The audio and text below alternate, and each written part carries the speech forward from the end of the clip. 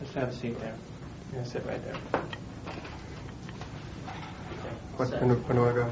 Yeah, go ahead. Now? Go. My name is St- um, my name is, is Stephen Morris, and um, I've never never done this one before. Um, uh, I'm 26 years old. I work down at the Fourth Realm. It's a bookstore. It's a comic book store, and uh, I'm, I'm single, and uh, I'm just looking for somebody who likes to have.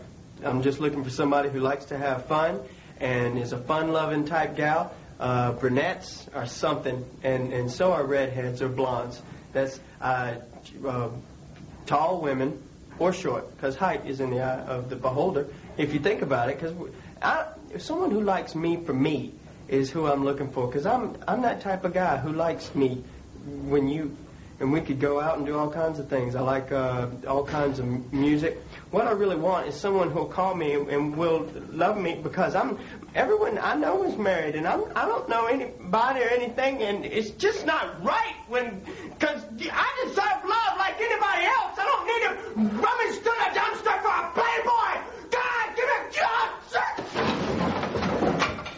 All right, I, want to do I want to do that one again. I want to do that one more time.